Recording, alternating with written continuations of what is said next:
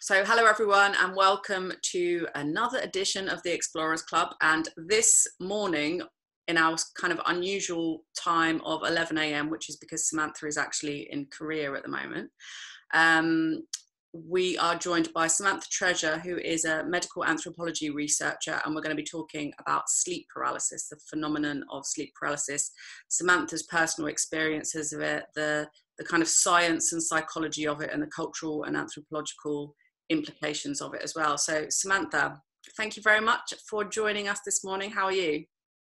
Yeah, I'm very good. Thank you. Um, thanks for having me. As you can see, it's evening here. So I think probably on both sides, we're still kind of like either winding down for sleep or waking up. So kind of a good time to talk about strange sleep phenomena like sleep paralysis.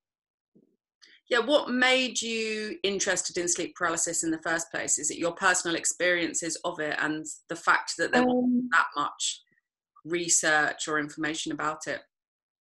Strangely, no. So I have had sleep paralysis. Um, I probably first had sleep paralysis about 15 years ago, and I've had about maybe a dozen or so experiences, but they didn't, they were more kind of amusing to me. Um, and my younger brother had um, the worst sleep paralysis I've ever heard of in my entire life, like in terms of being really scary.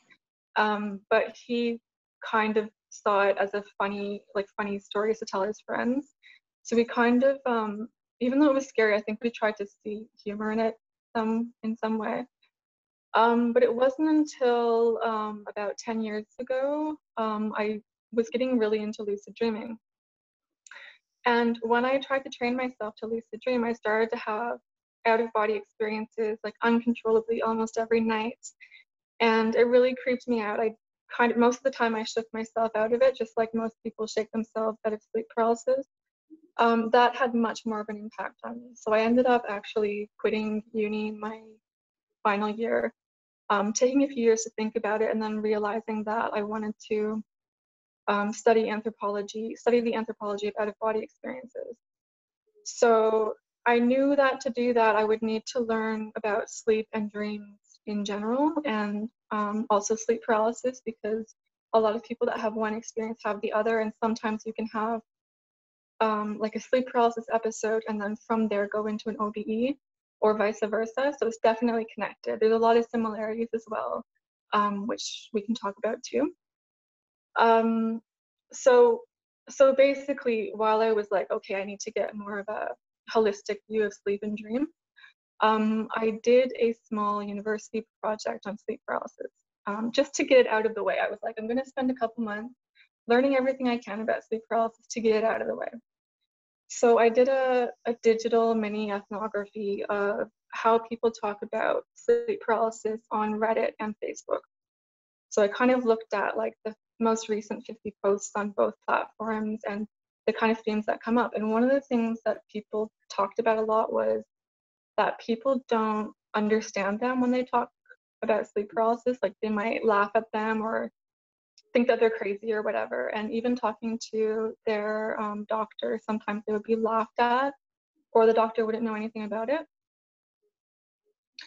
Um, but um, yeah, we were just yeah. saying when we were chatting earlier about like doctors, unless a doctor specializes in sleep medicine, they generally don't have training with regard to sleep paralysis or anything yeah. like that. And we were talking about the um, the fact that sleep apnea is often related to sleep paralysis episodes as well, and that doesn't really get talked about much on the kind of new age spiritual platforms that discuss sleep paralysis. I've noticed, but it's often interlinked with the people that I speak to. There'll be an obstructive apnea dimension to their condition.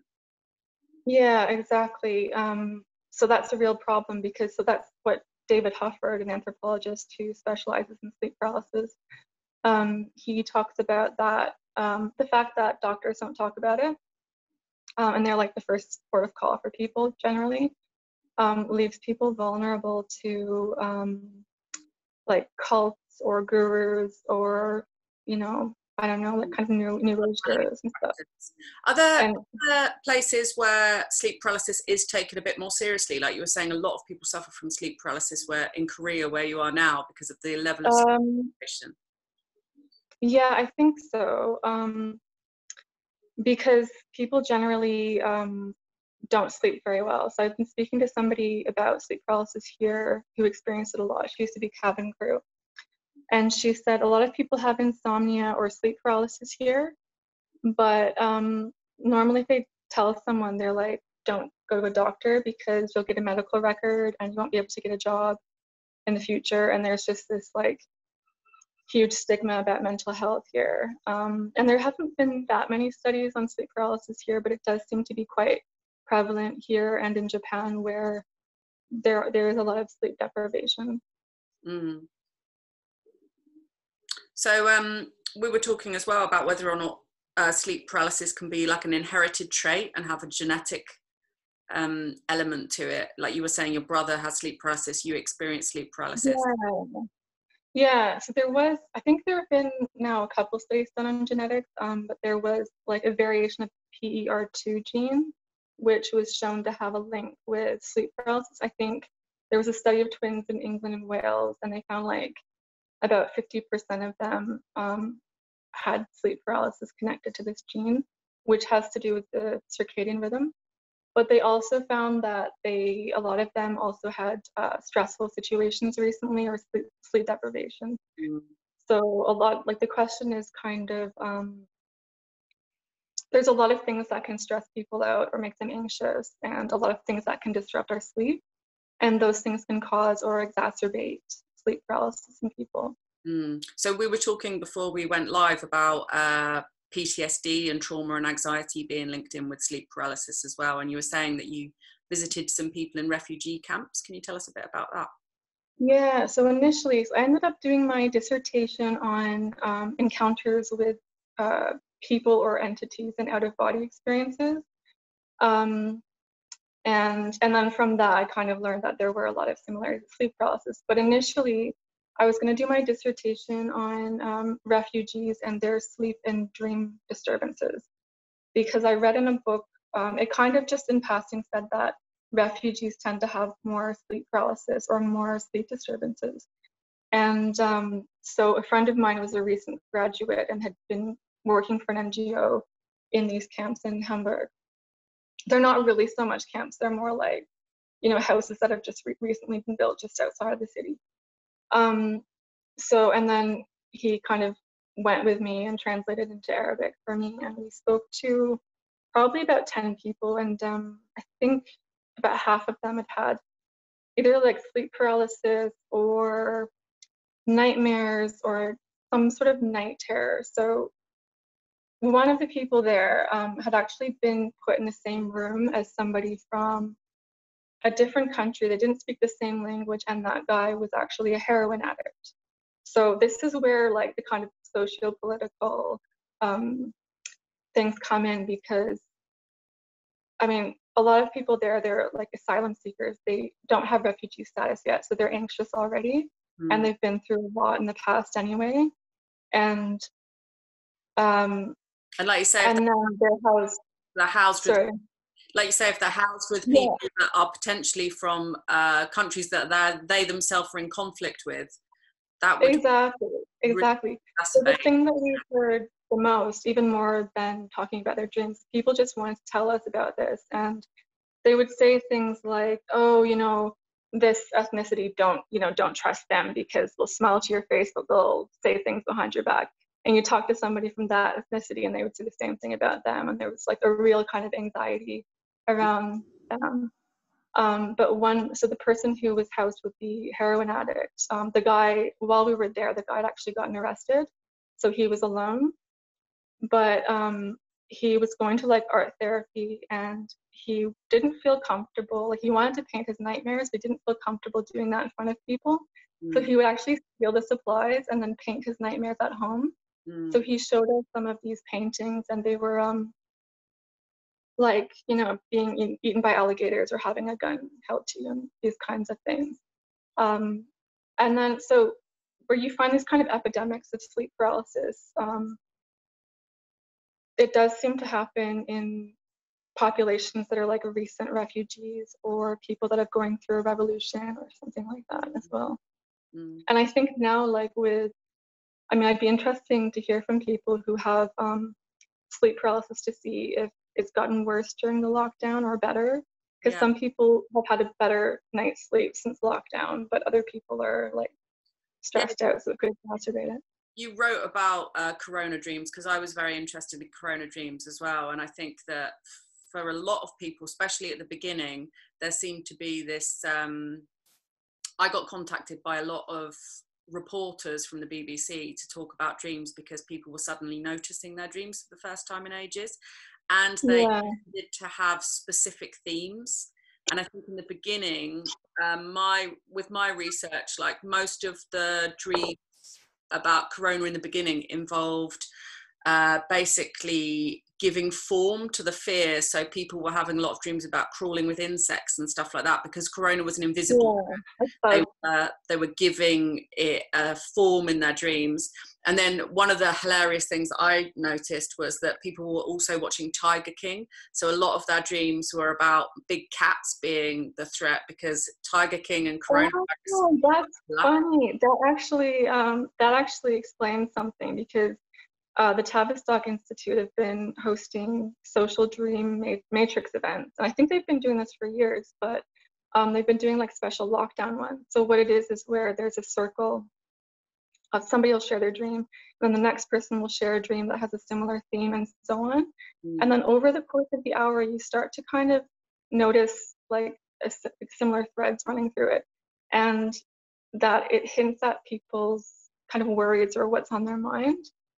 And um, one of the things that came out a lot, so there were kind of two main things that came out. One was not being able to go somewhere, like Mm. being refused entry to a building because you didn't have your papers or enough money or something like that. And the other one was um, like marriage or partnership. So being having nightmares of being stuck with an ex or getting married to a total stranger but feeling actually safer that you're with someone. Mm. And somebody actually said they jumped to two tigers getting married too. So maybe they'd seen Tiger King yeah, and that it kind of got mixed in with that. yeah. I mean, I But think the- um, people were sleeping longer during the initial phase of lockdown. And I think that, especially with regards to lucidity, you tend to have lucid episodes within the last like 90 minutes of waking up. So I think because yeah, having that extra sleep experience and they had particular anxieties, those were manifested in uh, like unusually rememberable dreams for people, which was because I was, when yeah. people were contacting me, they were telling me, I have this really weird dream and I don't know what it means. And I was just like, wow, you must never dream because it's really Yeah. a standard anxiety, you know, standard anxiety dreams. So But you, you've always had dreams I don't, I don't kid. So really do necessarily every day, but I've always Mm. been really familiar with my dreaming landscape. And I do also feel that when I dream about things, I tend to know what it refers to or it references. Like I don't normally watch films, and last night me and my daughter watched The Hustle. and, and my dreams last night were like all basically like reconfigurations of that plot line and Yeah. uh, I re- I sort of really notice how much watching films because I don't do it very often affects dream content. And I was saying to you before, actually, it amazes me in my dream workshops how many people are massive horror film fans but don't make the connection between their nightmares and horror movies. So have you done much Yeah. about um, that kind of culture? Sorry. Have you learned much about the kind of culture of horror movie watching or scary film watching? Um, and just sleep paralysis? mainly mainly from personal experience because I was um so the past couple of years I've had like a lucid dream dry spell and OBE dry spell. I only have them every now and then. But before that I was having them like maybe once a week or something. And then all of a sudden I don't know why, but I switched from like REM lucid dreams in the last 90 minutes of sleep to non-REM dreams in the first half an hour or so of sleep. I don't know why. It lasted a couple weeks and then it went away. Actually, all my lucid dreams kind of went away from then. But I noticed I was binge watching a zombie series on Netflix, and then when I became lucid in my like non-REM sleep, it was different. It was like I was kind of in the background watching my mind um, reconfigure my model of self and my environment and how I'm going to. It was like I. It was almost like my brain didn't know the difference between me and the protagonist. And so that really shocked me. I was like, wow, okay, movies and TV and everything I don't think our we're not evolved to be watching things on screens like that and watching so much fiction, right? I don't think our brain really knows the difference. So no, I think that's true. What is that doing to us? Yeah, one of the um, I listened to a really interesting radio documentary once, which was about the the invention of the steam train, and one of the things I remember from that time were well, this account of two women that fainted because they were so overwhelmed by the speed of the steam train. And you kind of think our life mm. is now like way beyond steam train technology. Yeah. So I'm not sure whether we can really cope. And I think that uh, a lot of anxiety, depression, and other mental health issues are caused by this like extreme overstimulation. Yes, exactly. And speaking of which, I'm just going to turn the heat off because um, one second. Oh, that was one thing I was going to ask you about actually is temperature. Temperature yeah. and um, um, like physical aspects that may encourage sleep paralysis because I notice yeah. that um, if I get hot, I oh, tend to have nightmares. And I am hugely against exactly. memory foam mattresses for that reason. I think memory foam mattresses are a, a modern evil. Hmm, yeah, probably. Um, yeah, that's a, the thing. Actually, in Korea, like for hundreds of years, they their heating is um, this kind of central underfloor heating, which is really cool. But um, it really heats up the house. Like my feet are burning right now. Um, but yeah, I've been so I've been actually sleeping like on the floor the past few nights, and I have been having some kind of funky dreams. So I have to come and like turn the, the heat off at night but yeah, that's one thing a lot of people say is if you get sleep paralysis, like make sure that you um, sleep with a lighter blanket on you or make sure that you don't have um, the heat on at night or open a window or something like that mm-hmm. um, because heat can definitely kind of make you feel more oppressed. And uh, same with like yeah heavy blankets or bulky pajamas or anything like that. Yep yeah i luckily don't have any heating in my house so that is not a problem for me. I've got the oh, window. I like being able to see my breath at night when i get into bed. I like to have a nice warm bed but um i never have heating on in my bedroom. Is that because you're afraid of the sleep paralysis or just heating either. mostly. Oh my god. But I think, I think sound also has a big impact, and the sound environment for mm. modern humans is super different to um, the way it would have been for our ancestors.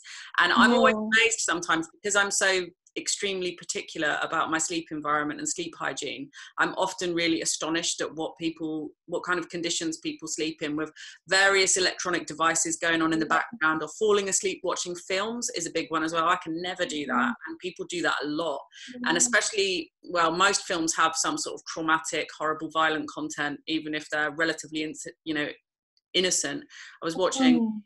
I was watching like my daughter's really into Marvel films and the torture mm. scenes and like the amount of horror in what is supposed to be like a kids film these days is insane. Oh. Um, and uh, you know, people I've I've never been able to fall asleep like in a car or uh, watching films or anything, but a lot of people do these days fall asleep with their laptop open, with their phone next to them, yeah. with some sort of light on in their bedroom, and I think all yeah. of those things tend to affect sleep quality.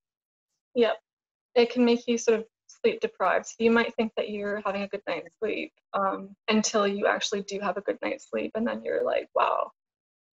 Um, so I've been using um, like noise noise canceling headphones recently, and that's amazing. Like that's such a game changer, and they're really expensive, but they're probably worth it.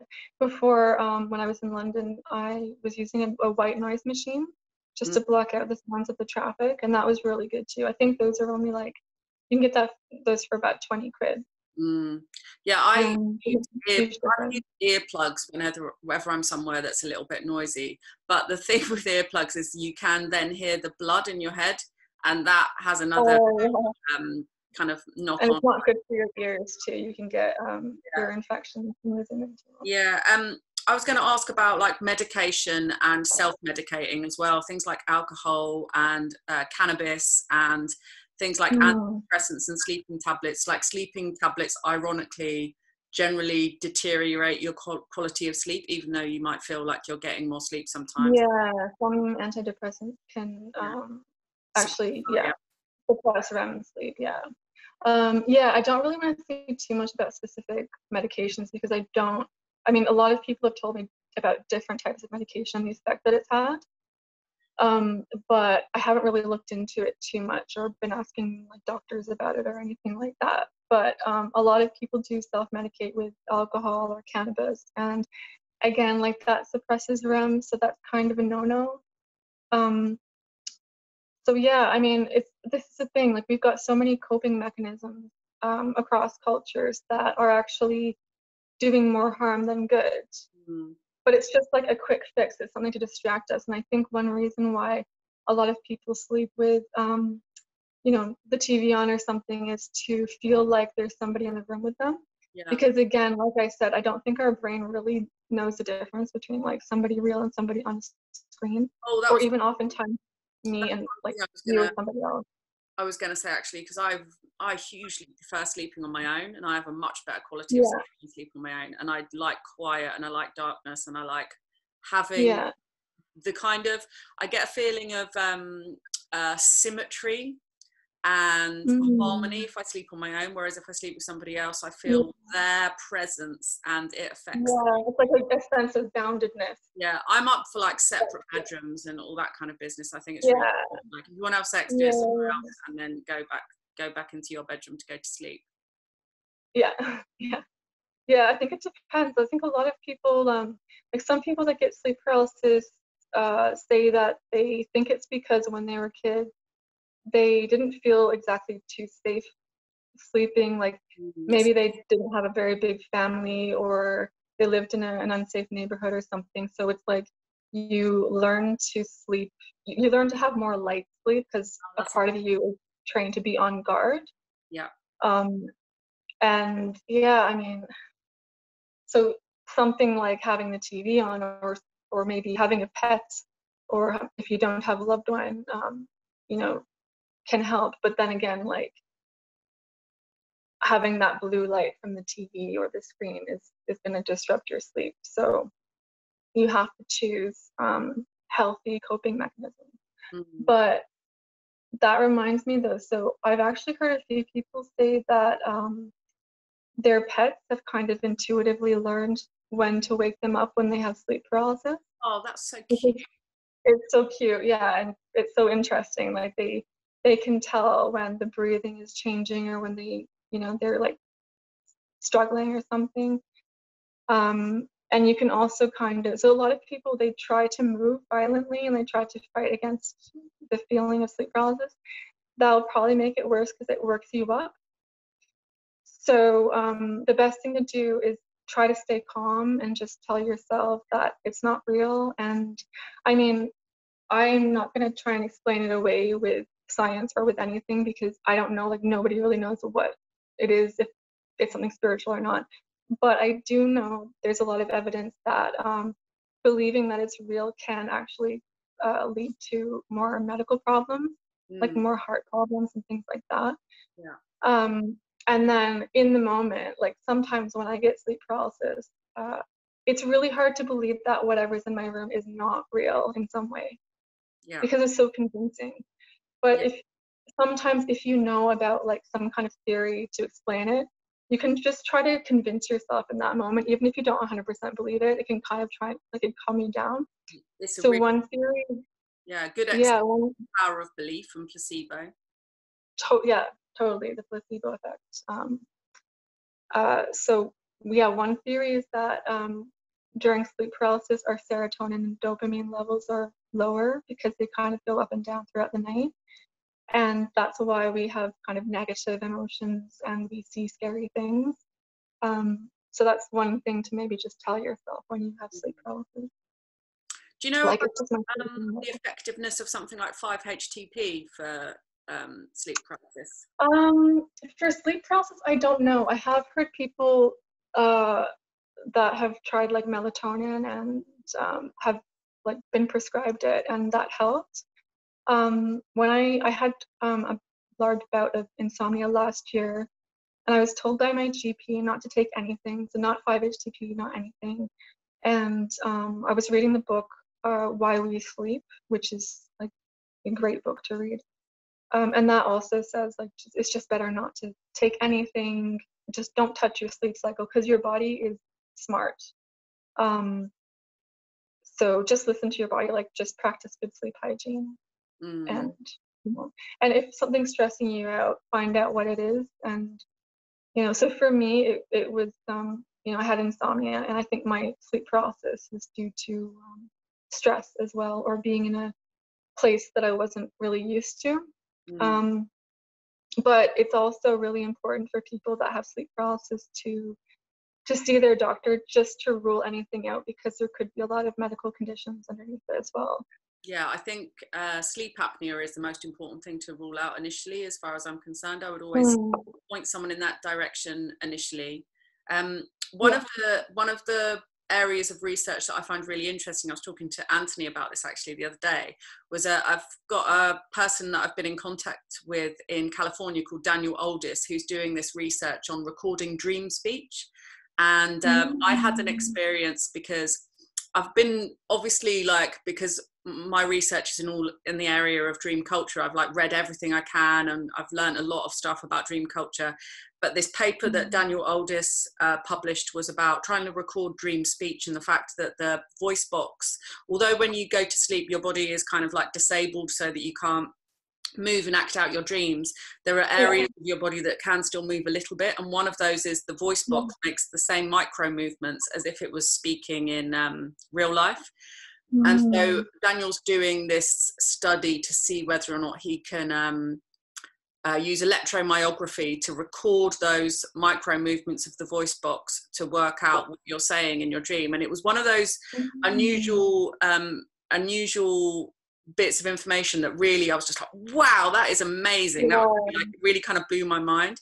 And so that mm. night when I mm. went to sleep, I thought I'd like try it out, and I became lucid. And I was standing in Times Square in New York, and I was um, really excited and really lucid. And I remembered about the voice box movement, so I was screaming and shouting really loudly, "This is amazing!" Yeah.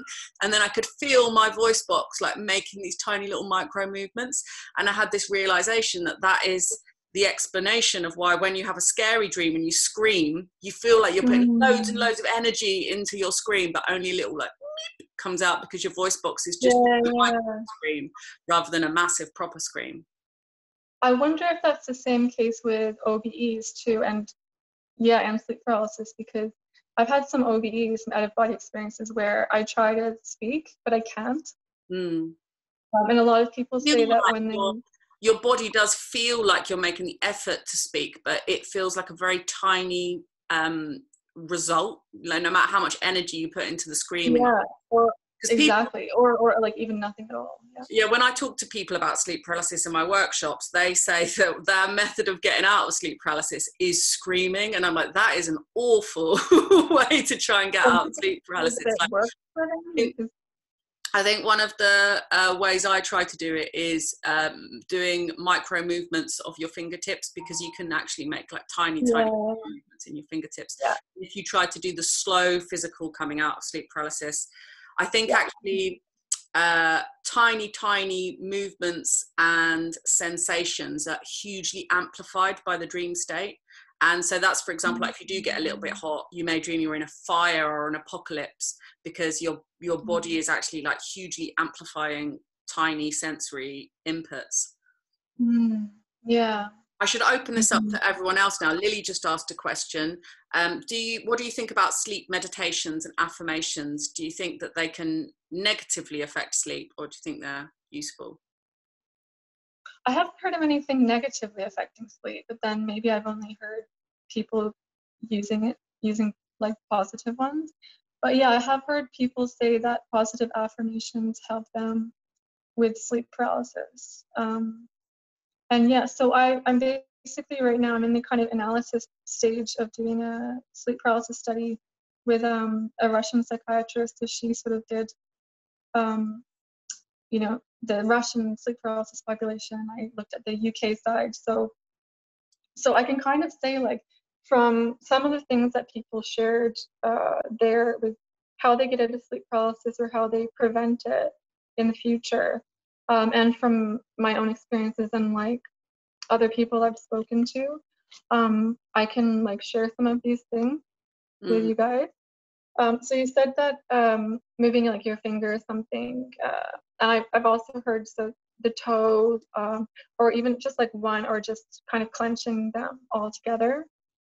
Um, also the tongue and the nose, like trying to scrunch the nose actually helps. Um, but yeah, like positive affirmations, thinking happy thoughts. Um, if your eyes are open, if you're seeing things, close your eyes, think happy thoughts. Um, and then breathe, like do some deep breathing exercises. Um, you can also try and focus at looking at your hand, at look, looking at something that you see. Um, some people, again, like have bad coping mechanisms, like they just try to stay awake as long as they can, and that's not really going to be helpful. Friday uh, the 13th type situation. Uh, yes, exactly. Yeah, which was kind of based on a true story mm. with the the Hmong refugees in America in the the 70s, I think, 70s and the 80s. And so, funnily enough, so they've recently found out there's something called the Brugada syndrome, which is quite prevalent in South Southeast Asian people, which um, that leads to a higher prevalence of sleep apnea, which mm. leads to a higher prevalence of sleep paralysis. And like we were talking about placebo effect or the nocebo effect, which is like you believe something bad's going to happen to you, it does. Um, that they were so scared of it because they believed that this is a real entity that their their heart would be like pounding and they would get really scary sleep paralysis or nightmares and they would try and stay awake and then they'd be so sleep deprived sleep deprived. They would go back to sleep and then they would like die in their sleep. And it happened to over a hundred uh, mostly men one one woman Wow. So actually, that's an before we hand over um, to everybody else. Actually, I just wanted to mention, ask about that because uh, you you wrote about that in the little write up for the talk about yeah. kind of cultural stories and mythologies based upon the sleep ex- paralysis experience. Yeah, and the kind of effect um, how different cultures have different like demons that are associated with sleep paralysis experience, and it has different cultural or different names that kind of express it as well in other countries. Yeah, there's so in Zanzibar, um, there were a few epidemics of this popobawa, which means batwing. Kind of sounds like a vampire actually, because some people were saying that they saw like bats turn into men or vice versa. And it started during a revolution in the 60s and 70s. Um, and it was mostly like a sexual assault kind of thing.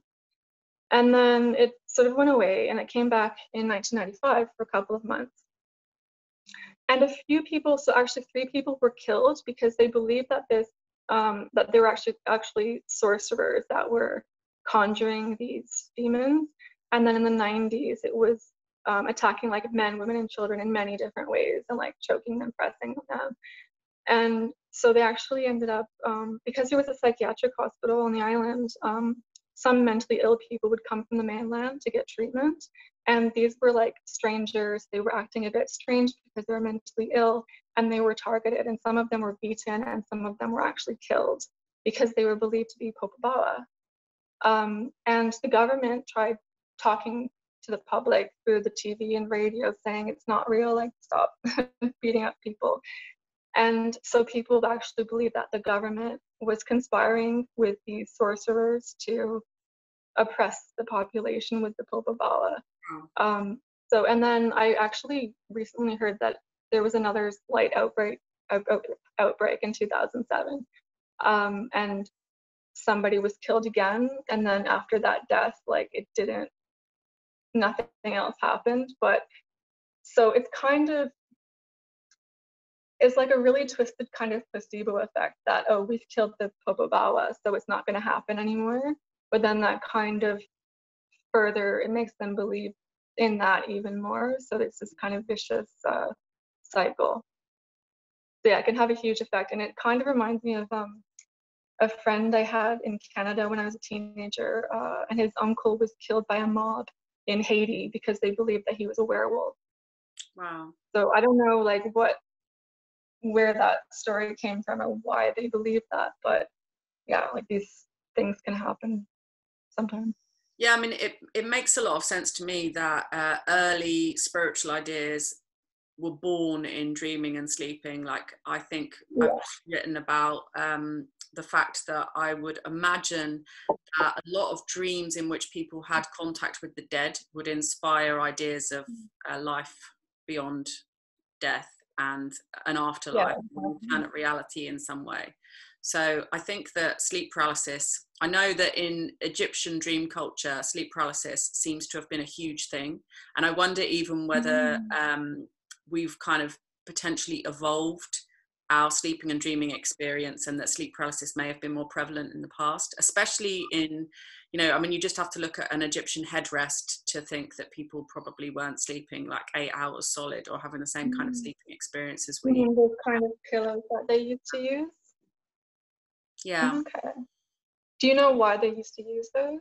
Um, there's very, yeah, there's very di- there's different theories. They they would have been padded. They did have pillows in ancient Egypt because a big cache of pillows has been discovered. So it wasn't like that. No one would have pillows, and I don't think everyone would have slept on those. And I think there are there are kind of like ceremonial ritual headrests that were probably never slept on and were just used for decorative purposes in the tomb to be kind of a symbolic representation of the headrest. And there's magic involved in them as well mm-hmm. in terms of the afterlife because they were seen to protect the deceased person from being beheaded by demons in the afterlife. But um, that's mm. headrests like that are still used in some African countries to this day. So they they did have a practical yeah. purpose as well. But the, the thinking, yeah the, the thinking is that they would have been padded and you would have slept on your side. But I mean I think that no matter how comfortable they are for a period, they wouldn't be like sleeping in a modern. Okay. Yeah, I didn't know that they would sleep on their side, but that's interesting. A lot of, I mean, a lot in a lot of cultures as well. I'm sure you know people do um, like teach each other to sleep on their side and not on their backs. Mm. And sometimes tell the kids not to sleep on their backs. And I think that probably is to um, prevent, prevent sleep paralysis. I, I but I did notice. Um, no, go on. I was just going to say, I, I find that sleeping on your back, because I do a lot of um, wake induced lucid dream practice. And if I sleep on my yeah. back in the beginning, it's a way of getting into a dream and maintaining your kind of conscious awareness of it because you're in that light mm-hmm. REM period. Um, and a lot of people that sleep on their back all night will have sleep paralysis or out of body experiences. And yeah, yeah. more likely as well because breathing is often more difficult if you're sleeping on your back. Mm. Yeah, that was something I wondered about because I heard that sleeping with a rolled up towel under your neck was good for you, it's good for your posture and good for your your back or whatever but whenever I do that, um, I yeah, more often than not, like I'll start to have out of body experiences or really just really really vivid dreams. Mm-hmm. So I always wondered why, what like what is it about sleeping on your back? Um, but then yeah, you do have like more light sleep when you're in that position. So any kind of light sleep can promote more sleep paralysis or OBEs yeah. or yeah. Okay. Does anyone else have any questions for Samantha? Because uh, it would be great if we could get some of your input on this and your questions or your experiences. Does anyone have sleep paralysis regularly? Um, I think you should all be able to unmute yourself, so please do unmute yourself. Hello. right.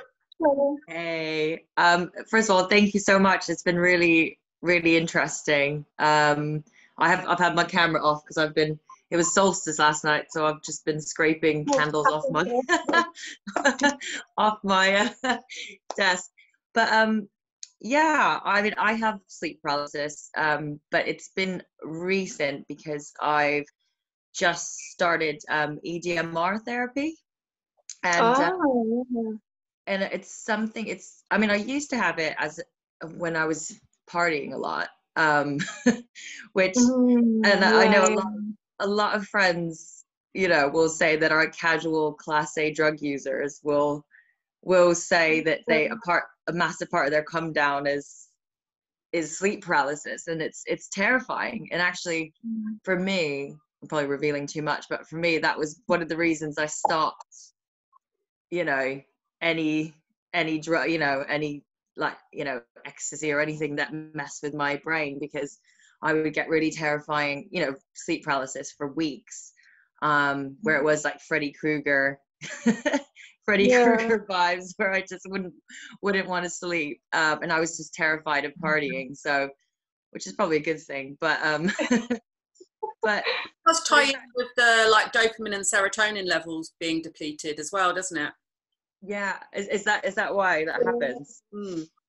And I well, think a lot of people. No, I think there's an element of sleep depression because I'm uh, not sleep depression, sleep deprivation because you've been up so much, and that I, mean, I think it's like a, a cocktail of issues, really. and yeah. I think it's a, uh, a, lot of people will uh, wonder why they have issues, and you know, not realizing yeah. that. But, um, but yeah, recently I've started EDMR therapy, and um, and it's quite new to me. But I've noticed that I've been acting so it's my sleep paralysis has come back and i've been sort of processing what mm-hmm. i've been the, the trauma in in my therapy through through sleep paralysis um and sort of speaking to my therapist about it and she doesn't really know much about it so it's been quite quite difficult mm. what you said resonated you know in the beginning is that i you know doctors and and medical professionals don't always yeah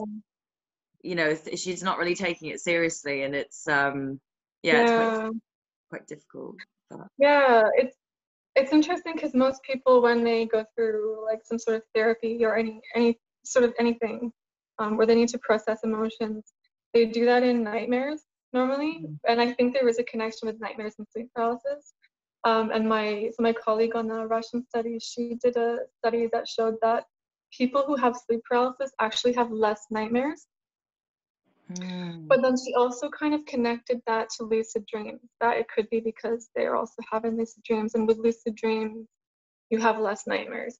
But there are all these, it's almost like, I think of it like roulette, a roulette table. Sometimes you there's something going on in your life or you're trying a technique or you have a medical condition or there's all these different factors and for some reason like the ball lands on a certain experience like sleep paralysis or OBEs or whatever like lucid REM dreams or lucid non-REM dreams. And it's like I actually have um, an example of um, over the summer I was helping people with their sleep paralysis, like kind of doing detective work together and trying to figure out why they had the sleep paralysis. So there was one girl, um, she's actually, so she's in the Philippines and she got really into like Ouija boards and out of body experiences in high school. Mm-hmm. And she learned how to have OBEs out of curiosity. But then this triggered sleep paralysis, just like with me, like my lucid dreams triggered OBE. So sometimes it just kind of happens and we don't know exactly why. But then we kind of worked out that the reason why she was getting sleep paralysis, she was only getting it in her house, but not at her friend's house. And she was like spending half her time at, at home and half the time in um, at her friend's house during the lockdown summer and she only had sleep paralysis at her house So we were like okay trying to work out like is it the people that live in the building with you do you have like i don't know do you feel safe about your friends and all this and we narrowed it down and what it was was that at her friend's house she very rarely had coffee but at her house she had up to four cups of coffee mm-hmm. a day and she did notice the, the way we kind of got to that was that I was like, well, how do you feel when you have sleep paralysis? And she said, I get like really excited and I have heart palpitations. And I said, okay, so why are you more excited at home? And then we kind of got to that. So a few weeks later, she said, okay, I stopped, I haven't had caffeine for a few weeks. My sleep paralysis is gone, but now I have nightmares. So it's like constantly trying to unravel these things. And okay, so now I'm like asking her about lucid dreams or maybe learning how to have another kind of experience and transmute it into that. Um, but yeah, I, I think just try different techniques uh, and see what works. So try. Um, so I'll I'll mention some of the things that people have done to prevent it happening in the future. Um, one of the things definitely would be to journal your sleep paralysis, like the experience itself, and then what you do, what you eat, what you watch before bed, all of these different things. Um, you can sleep with a night light on or wear an eye mask. That can sometimes help because if you do see something, you can just tell yourself, like, it's not actually my room because I can't see my room right now. Mm. Um, and also, some people said um, if they've cut out gluten or dairy or sugar, alcohol, caffeine, those tend to be the things that seem to really help as well, which is really interesting. Um, talking to people that have sleep paralysis too, um, it can just kind of, it can be very cathartic because not everyone has it and everyone's going to understand. Um, like, you know, your doctor um, also like reclaiming our night because there's kind of a phenomena of we're so we're meant to be productive during the day we're so busy during the day that it's almost like a revenge um, relaxation or distraction in the evening where we we want to reclaim some time for ourselves. And that's usually done with like alcohol or watching films or just scrolling on your phone or something. So reclaim your night in a a kind of a more positive way, like um, no screen time before bed the, the last hour or two. Um, maybe read a book under a, a warm, soft light, listen to music, listen to an audio book, something that like a fiction that doesn't get your mind kind of curious about things or um, something that's very comforting and um, what else yeah, if you don't have a pet, maybe get a pet as well. uh, reducing any stress and also reducing nap times in the daytime. Um, and then what also helps some people is to try and tire the mind out uh, at night before bed, either with like with a book or with, with a puzzle or something like that. Um, and yeah, I think that's about it and no exercising right before bed too. I do think that Lily, like it sounds like because you're going through this um, therapy experience at the moment, that actually nightmares are a really great opportunity to integrate that therapeutic work and it's probably a good sign you know i think that a lot of people that i speak to that come to my workshops smoke uh, cannabis because it suppresses rem sleep and they have a lot of experience of nightmares arising because they're suppressing trauma mm-hmm. and so actually i think nightmares are probably the most valuable tool you can have for uh, transforming mm-hmm. trauma and transforming those negative experiences and integrating and evolving and growing from them and actually if you could um, be lucid more often that mm. would be like the perfect opportunity and actually having the sleep ex, um, paralysis experience is really a taste of lucidity like there is that is a bit of mm. lucidity there so you could use that to integrate it and one of the things i would say about integrating anything that's terrifying when you're dreaming, like everything's coming from you, so nothing should be actually terrifying, and you can love every single thing, no matter how terrifying it is. And in the act of loving something, you transmute it, and this kind of inner alchemy occurs where you you properly integrate and change the bad things that have happened in your life. And a lot of people, when they have nightmares, like I talk about it a lot with lucid dreaming, is most lucid dreaming starts for children from having nightmares and often mm-hmm. they become lucid just to wake themselves up from a dream because they're scared but actually if you learn to not be scared of the nightmare things you can then expand that experience of lucidity and what i find with scary things appearing in dreams is that the more mental energy you give something, the more power it has to overwhelm you, which is why I think a lot of people have these very, very mm. oppressive sleep paralysis experiences. So if you can think about the fact that even the most terrifying aspect of your dream is actually just an extension of yourself and you love yourself you don't hate yourself you you should love it so even something absolutely horrifying if you can become aware of it in that moment and love it it will change and you'll see it physically change into something mm. lovely and then you won't you probably won't have those dreams again mm. i've also heard that um like look if you see uh sleep paralysis entity in your room, if you try and look through it, that can sometimes change the experience too. But I just had a thought. So if you're doing that therapy, so that um, th- that involves like kind of moving your eyes. Is that right? Yeah, I've, I yeah. do like tapping. So just on either side. So yeah. Okay. So when you when you're um, when you're processing, she she makes me tap really fast, like that. Okay. And then I- when, No, but I think it, but it can be. I think that's because it's probably over Zoom. But I've, when I've done it in person, it's been, it's been, uh, it's been. Uh, she's had like a little Yeah. bell on each side. that, that sort of I thing. wonder because I actually use that kind of technique to get into um, out of body experiences. And I wonder if you try that with your eyes while you get uh, sleep paralysis Mm. and see yeah. what happens because maybe that could trigger that could trigger like um, lucid dreams. I don't know. It's just like a thought. Yeah, So yeah. you, you can be the guinea pig and tell us. yeah, I'll let you know. Yeah. what happens. And Can, can I ask um, if you, know, you mentioned that it all comes from you? The, it was it was- I think it was Sarah said. Um, um, what what if you um, happen to hold slightly different beliefs that you might say a small percentage uh, of dreams come from beyond yourself? Um, I mean, i you know, if someone holds those kind of beliefs, um, which a lot of people do, um, even, even Sigmund Freud said that 5% of dreams are occult in origin.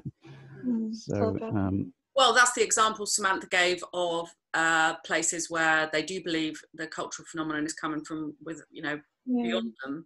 But I think saying that everything comes from you isn't necessarily saying that there's nothing beyond your experience. But I do believe that everything is uh, connected, and therefore you have influence even in the greater sphere, and you can decide what experiences you have based upon the belief system that you create for yourself.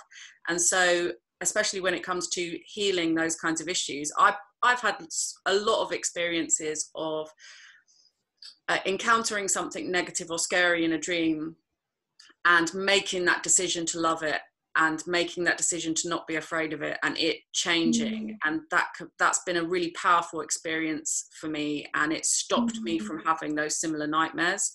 When i was a kid i had a lot of dreams of being chased and i think a lot of children do have that dream. And i would be chased by a variety of different things from like the grim reaper to the transformers and um, i eventually had a dream where i realized that whoever was chasing me was something to do with me because it always knew where my hiding place was and when i was eventually found i just decided not to be scared of the thing and it it changed and transformed so Mm. I think that your belief system has a huge impact on your dream content because dreams are culturally specific for the most part, as far as I'm. Totally does. And your yeah, your interpretation of it does, like in the the Hmong community in America, um, where they really believed it and it, it made them more and more anxious and then, you know, it, it exacerbated their heart conditions and led to their death. So that, you know, it's it, that's not really helpful. However, um I so Brenda Moore wrote a really good book called 40 Winks about her experience with sleep paralysis as a narcoleptic, and she's also a sleep technician. So it's a really interesting book. But she actually says because there's this kind of popular thing with lucid dreaming, with shadow work, and embracing any kind of nightmare content. Um, but she said that she actually had a really bad experience with that. She felt like it wasn't like psychologically good for her. That she was actually inviting kind of a dark something dark, whether it was something within her or not. That's not always like, you know, and and I think sometimes uh, these different experiences can have different affordances, like dreams, lucid dreams, non-REM or REM dreams, sleep paralysis, OBEs. They can all be slightly different. So, um, like definitely for OBEs, um, I don't know. I've just heard so many stories, and I've had my own experiences with OBEs, with like veridical OBEs, um, that I do, I'm like very, very much on the fence with. Mm. I'm not going to make any assumptions about, um, you know, the reality of any. Well, if anything you believe in a collective unconscious, which I do, I mm-hmm. think that other things from Yeah. Uh, you know the the collective unconscious can get into you, but you st- I think you still Yeah. have the autonomy mm-hmm. to transform it from your Yeah. point of view. Yeah. Yeah, and that's what mm-hmm. I'm find I find really fascinating is that you know there's the collective unconscious, but then there's also you know storytelling and the fact that there are just some stories that we all hear, and I think that's kind of what my comment was about was this idea that you know like around the world, then we all have had local stories, and that typically when people have sleep paralysis, it is like a sort of like local monster or ghost or, or whatever.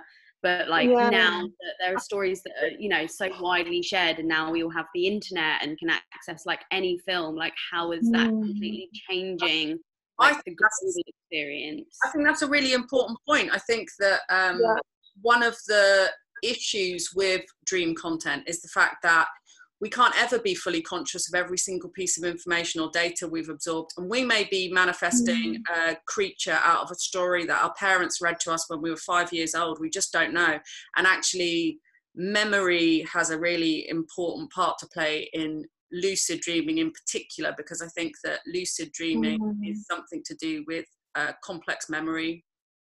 Uh, capabilities, I guess, and um, I think that we can't ever be sure where some you know there's a lot of dreams that i have where i'm like oh, i know where that came from i know where that came from but i don't necessarily think that things that i can't identify the root are necessarily mm. supernatural mm.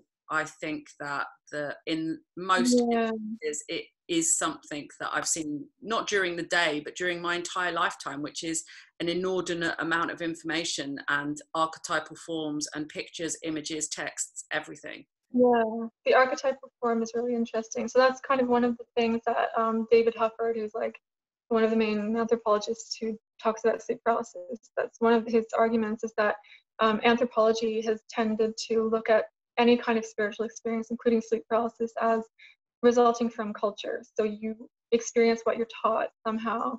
And he actually he did a study in Newfoundland where there was tons of people having sleep paralysis that didn't even know what it was and they they didn't know what they were seeing. But across cultures, these it's like almost like there's an archetype of there tends to be there's a lot of like long thin um, like nails or hair or fingers. Um, the eyes are what's most commented on in terms of body parts.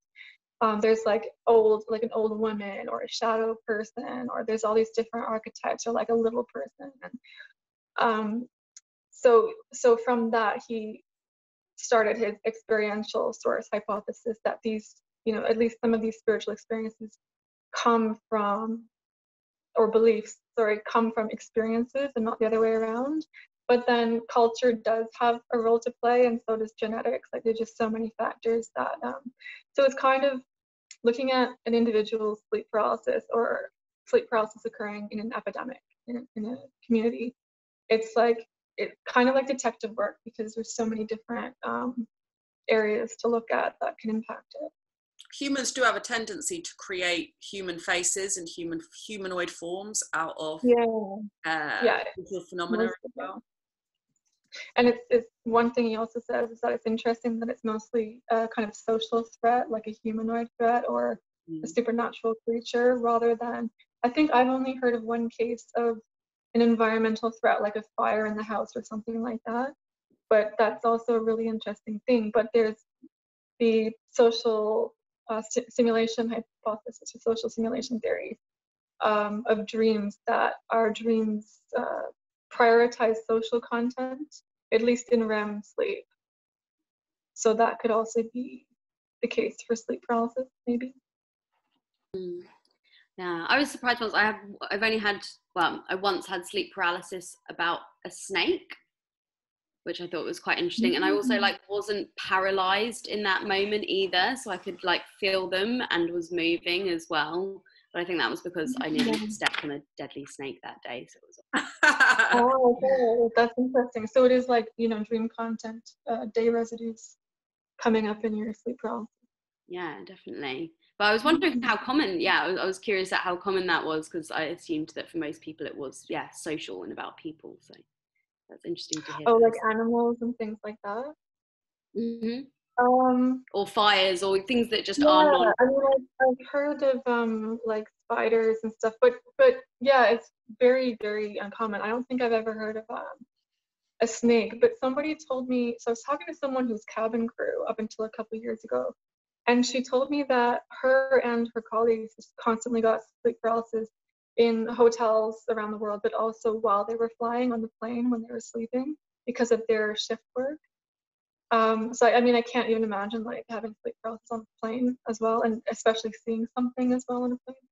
it's like that somebody should make a movie out of that. Um, but she said she was in a hotel in Indonesia and um, she she had her eyes closed. She had sleep paralysis, but she felt like a face there, like she felt the presence and she felt like kind of brushing against her. Um, and then she came out of it and she noticed there was a, a, canopy on the bed because there's insects and stuff there. She noticed there were little lizards crawling around. So it's almost like um, her she heard the scuttering, but her mind created a face instead. Um, which yeah, actually that reminds me of a, a really spooky story that a friend of mine had. Um, so he was a Korean student in London and he had a lot of sleep paralysis. He also had a lot of um, kind of psychic experiences, and so did his mom. So I think there's a genetic thing there as well. But so this took place in London. He was sleeping and he had sleep paralysis, and he saw a man like parallel to him, just hovering above him like this. Um, so his face was like right in his face, but it was actually a Korean guy as well um, even though it took place in London. And he was just like smiling right in his face, and he actually saw this. Um, so yeah, like this, it, it can just be so um, terrifying for people. So I think it's, I've, noticed, I've noticed that those kind of waking hallucinations, and we were talking uh, before we went live about actually the ability to hallucinate or the phenomenon of hallucinating isn't really reserved for like madness it really is quite a common human mm. phenomenon that perhaps we just don't uh, exercise as much anymore because, like you say, there's a stigma around mental health, hallucinating, and also we're so distracted and looking at stuff all the time that we aren't conjuring out of our imaginations uh, visuals, generally speaking. But I've had quite a few experiences that I would say were probably tied in with sleep deprivation. And uh, for example, when I was in Thailand, lying on the beach, I was kind of like uh, I don't know if my eyes would have been open or closed, but um, I was in this kind of like limbo state, and I just constantly saw these like faces swooping in front of me, absolutely like photographically perfect, mm. detailed faces. And if ever I do have periods of that kind of waking hypnagogia, that's generally what I see these mm. faces swooping in front of my face. And they won't be people I mm. recognize, but they'll be like perfectly articulated, like really, yeah. really detailed photogra- photographic images of people. And I think that that does come from the human mind's ability to conjure up faces out of yeah. Nothing. what's it called pareidolia yeah, or pareidolia. Yeah. pareidolia yeah, yeah like you see faces in um, in the clouds or whatever yeah yeah it's, it's like we're always looking for faces we're social creatures and it's really hardwired mm. but, but it also begs the question you know um, when we say the mind does that, um, you know, what what are we talking about? What is the mind anyway? Um, mm-hmm. so, I mean, I, you know, we could you could argue a different version where the mind is encountering something of something beyond that, and you know, and it's mm-hmm. not unreasonable, depending mm-hmm. on your your theory of mind in, in philosophy of mind if you if you're not a mm. materialist that is. Yeah i'm not particularly a materialist. It's just a, an easy way i guess of expressing it. But i think of the i think of the human organism as being a receptor for the rest of the universe and that's kind of how i interpret it. Mm-hmm.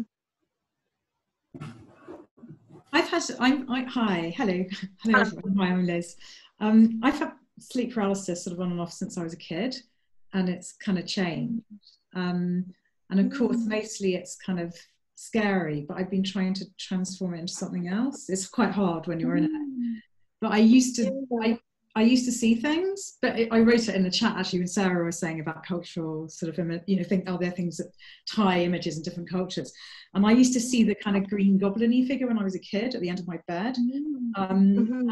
It wasn't always, but then I couldn't ever think of a reference. I mean, I might have seen it somewhere that I'd seen that before, um, mm-hmm. or it was something I was scared of in real life. It was kind of weird. But then when I was older and I looked it up, because I never told anyone about my sleep paralysis, I just kept it. Yeah. I think it's probably quite common. Like you mentioned, the thing of mental health, where you just think it's a dream, yeah. happened to me. Um, and then I found that image was in, you know, it was quite a common image. Um, in kind of Western culture that dates back several centuries. Mm. Um, Mm. so it's kind of interesting. But now my sleep paralysis is uh, when I do get it, and I don't get it so often, um, is it's been really scary. It's been kind of about being. It's always I'm in an identical room I'm in. It's always when I fall asleep. Yeah. It's the moment falling asleep, and the room is totally identical, but there's a presence or it's something on me, or I can feel it, or it's sort of, you know, it's, it's Mhm. something feels very strong. So um, that's that's how it's kind of transformed um, over the Mhm. years. But It's uh, yeah, but it's always in a room. It's totally identical to the room. Yeah.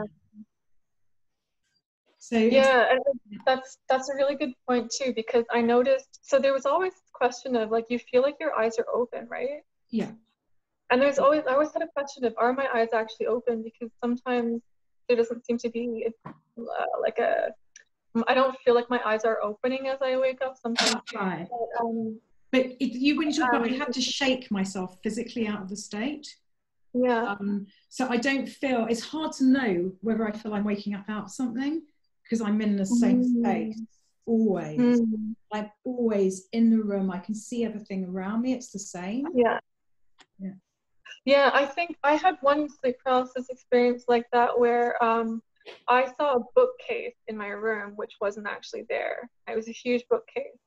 And I actually saw a man like kneeling on my bed and his head was down so I couldn't see his face. And he had this like brown patches of hair and there was like little tufts missing.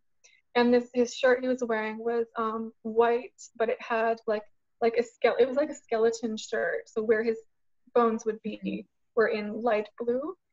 And um, I managed to kind of get myself out of that by wiggling my pinky finger. And then I noticed in my sleep paralysis experience, I thought I was on my back. But when I woke up, like properly, I was actually kind of half on my side. Mm. And right in front of me was um, a pillow, and from up close, I could see that it was brown and there was little tufts of fibers missing. And then over a bit further, there was a blue um, pillowcase with which was white with blue uh, ivy on it. And then where I saw the bookcase, there was actually that was um, the same sort of size and shape as the sunlight coming in through the door.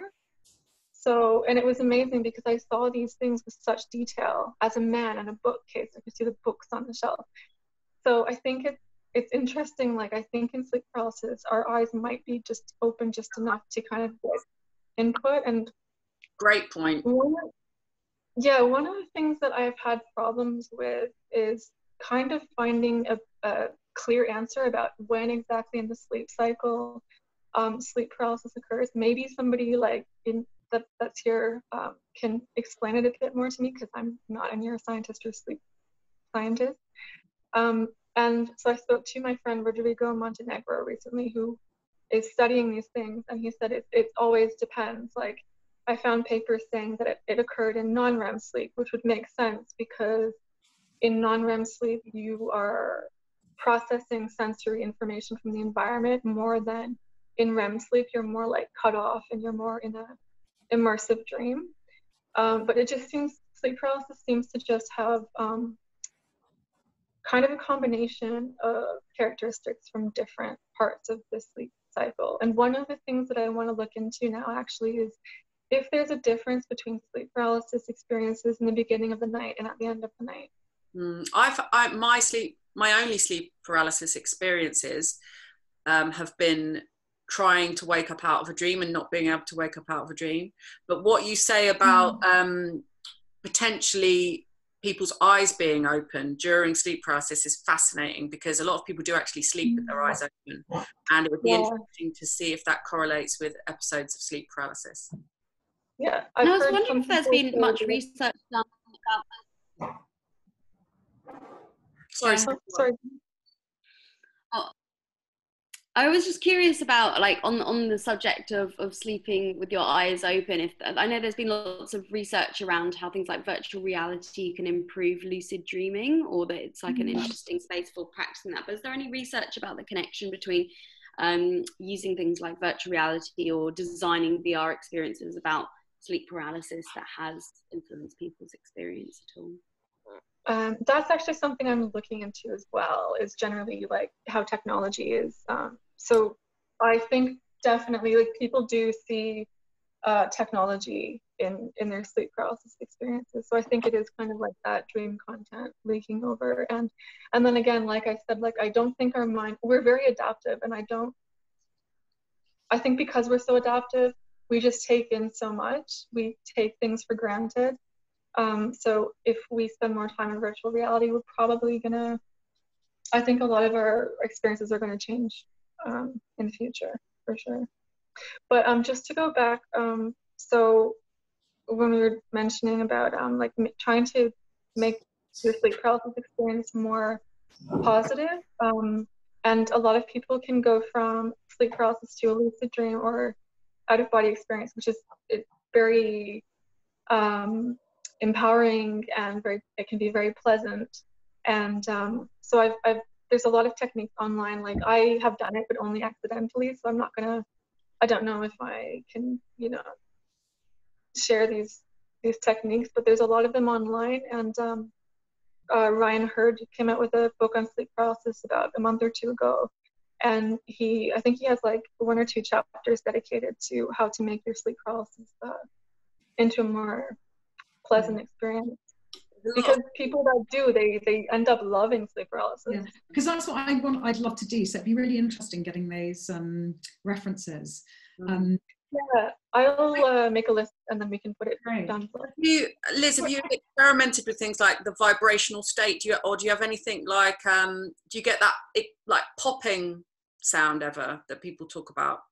Because yeah. in terms of like trying to get uh, out of body experiences there's a lot of talk about trying to encourage essentially sleep paralysis and working with the vibrational state. So you are if you like kind of directing your experience of sleep paralysis.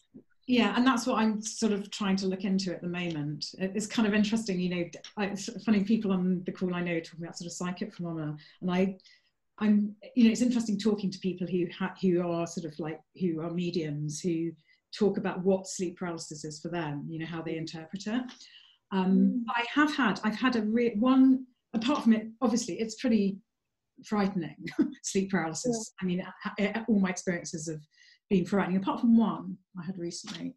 Um, but I have had really bizarre, I had the weirdest, and you know, you were talking about the hotel, the most horrible experience, one of the most horrible experience I've ever had. And I, I before lockdown, I used to travel a lot, um, was a hotel in Rotterdam, which is, I didn't know anything about, and I'm not I'm not someone who wants to sort of mess with psychic phenomena because I've always been very scared of it. Um, mm. If I had a terrifying sleep paralysis um, moment in a room, um, and I found out later a friend of mine had exactly the same, and then there's a real history with the hotel. Um, mm. And I don't want to think about this hotel because I travel a lot, so it's not something I want to kind of mess with. But it's uh, it's an infamous hotel in Rotterdam. Mm. That used to be a Nazi interrogation center, and it was one bit of it got um, oh gosh. It wasn't bombed, it was when I, I got put in the same hotel the next year, I was at a film festival there. Mm. And I, it changed name, so I thought, great, I don't need to mention it to anybody because I thought they were sending me to, it was an invitation to another hotel. And I asked the staff in the end, I was in a different bit of the hotel, and when the manager mm. went away, he said, yeah, it's, so it's weird. That I have been in situations where and it was a friend of mine, a Canadian friend of mine. She left the festival. She was so freaked out. And when we met each other a couple of months, she told me the same night because I saw her and she was totally bizarre because I was terrified mm. and I went out to breakfast early. She kind of ignored me and she left town. So we had sleep paralysis and the same experience on the same night. Wow. Mm. I you know I've heard some things like that. And it's it's yeah. like that fascinates me. It's amazing. I think that yeah it's, it's like what you were saying sarah about maybe it's the kind of collective consciousness thing or um or like what don was saying too i mean we don't really know we don't really know but i'm fascinated with, about these um, particular experiences. which hotel was it? I, I was in rotterdam uh, last oh, year. nh i haven't been for a while. it was nh atlanta. Nh atlanta it used to be the golden tulip and they changed the name in between the years. That's why i thought oh, oh great they're not, they're not sending me. But I've heard other stories about the hotel. A friend of mine who been on sheets to Rotterdam, so it's kind of you know, it's a it's mm-hmm. you know how can you? It's very bizarre when there are sort of things that collectively happen to people. Yeah, I was actually told a story about. Um, so this is from the same uh, Mm. air stewardess that I spoke to. Um, so she went to Osaka, Japan, and she she was in the same hotel room with another air stewardess, and the other one had had sleep paralysis in this hotel, which was apparently, um, you know, infamously haunted. And um, she so she had sleep paralysis, and she just felt something in the room, and she could see like everything in her room kind of shaking and bouncing up and down like a poltergeist attack or something. And um, so I think I think at first she thought it was an earthquake because it was in Japan, but nothing was falling down like it should have. Um, and then um, uh, so I guess it was in another room. Um, the person I was talking to just woke up and had a really strange feeling, and she just didn't feel right in the room. And then she looked behind the TV and her bed and the uh, painting on the wall, and she found amulets pasted behind all of those places. Um, so she said, if you ever find amulets in a hotel, um, it means it's haunted. And she was adamant about that. And even though if, if you find amulets in a you know, in a place like I'm in an Airbnb place right now here in Korea, and there are amulets in the broom cupboard. Um, and because she told me that it has a connection with a haunted place, I was like, oh my god, this place is haunted. And then she told me no, it was uh, her mom put it there to um, to kind of make sure that they don't get any weird tenants in the Airbnb. I was like, yeah, well, didn't work because I'm. Oh wow! Oh yeah, Korean ghost stories. Yeah. wow. Yeah, so you know, they're extraordinary, um, you know, moments, and it's funny because I only started talking about this until I met. Actually, Sarah and I know each other from working in virtual reality, and it was a project that I curated for Film Festival I curate, and it was a Danish guy. It was a few years ago. He did a project that emulates sleep paralysis. It's kind of scary. Um, luckily, my a colleague told me about it before, and so I was ready for it. But it was funny. We had a conversation. It was the first time I started talk. I never really mentioned it to anyone. You know, that was only three years ago. Oh wow! So before then, you thought that you were like other people didn't experience it. You didn't know what it Yeah, was. Oh wow! reality is very promising in terms of uh, lucid dreaming and sleep paralysis and things like that because Mm. one of the my areas of interest is the way that you actually look at dreams and the way you see dreams obviously you've got your eyes closed it's an imaginative realm but you look into the dream space in a particular way and it's a particular way that we don't exercise very often in our waking reality anymore especially with the advent of screens and technology we're often looking at flat surfaces and Mm. I think natural vision is looking into spaces and looking into uh, three dimensional space. So, virtual reality will be a return to that, even though it's technological, it'll be a return to looking through and into space at three dimensional objects. Mm. And actually, I my experiences of using virtual reality is I usually have a lucid dream like that night because it's the same as looking into a lucid dream space you're looking like through space. And i used to do a lot of exercises just naturally when i was a kid of looking through and into space. And i think that as a culturally we're we're doing that less these days because of our dependence upon technology and Mm. our looking at flat Mm. screens our looking at tvs and now looking at phones and devices. We're not uh, in training that method of looking at stuff anymore really. and we're also quite linear as well. yeah Um, absolutely i think that's a big Yeah. like the linear perception of time and reality basically influences your perception of reality i totally agree with that i think that Mm. um, our our experience of time has got increasingly linear as well and um, Mm. Actually time can't possibly exist like that in reality it's a construct of modern society to think that we live on this 24 hour clock system but but there's sometimes strange paradoxes. Uh, I would say one of the I know this is terrible generalization, but one of the least linear places I found in Europe is Germany, which is supposed to be the very ordered as well. Mm.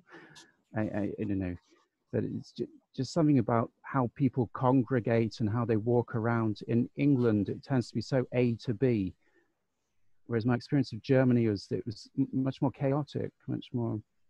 uh, Yeah. Mm. There's a lot of um, lucid dream research as well that comes out of Germany. So I wonder if there's a, a connection there. Maybe Yeah, they that's- have a lucid dream there. Ursula Voss is one of the lucid dream researchers in Germany. I think she's from, I think she was uh, researching lucid dreaming in Frankfurt, and she was quite cynical about lucid dreaming.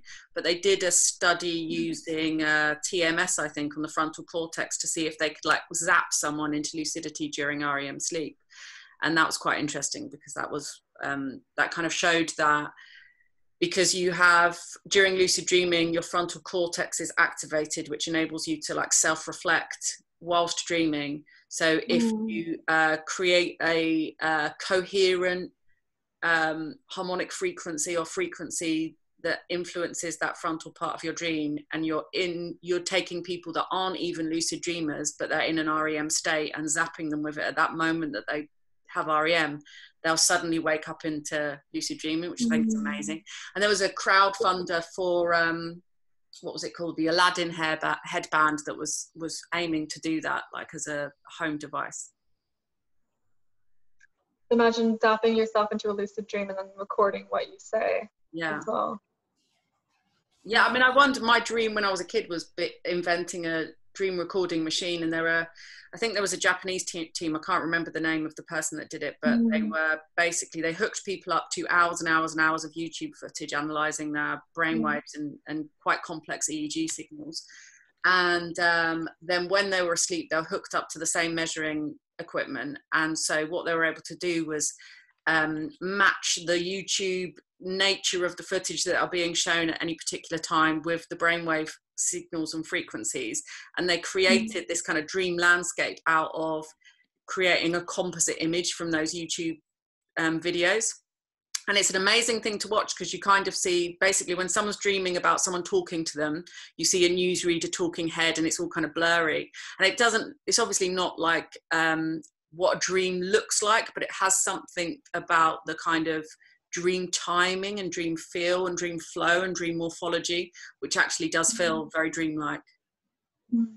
So in the future, I think there's going to be um, lucid dream uh, film directors, probably like really yeah. good lucid dreamers. That, I hope so. I've had some, and I wonder too about, you know, is it going to work the same for OBEs and sleep paralysis, right? I think um, probably going to be tech that can give people those experiences. There's already virtual reality tech for giving you an out of body experience, and that's incredibly easy to hack actually. So mm-hmm. that could be quite interesting. And I know there's virtual reality devices for or virtual reality experiences of seeing loved ones that have died as well to give you that personal experience mm-hmm. like which mm-hmm. is it's got such a sort of tragic element to it but i do think um, almost accidentally we're going to create this new wave of lucid dream experiences through virtual reality. I think it's quite promising for that. Yeah.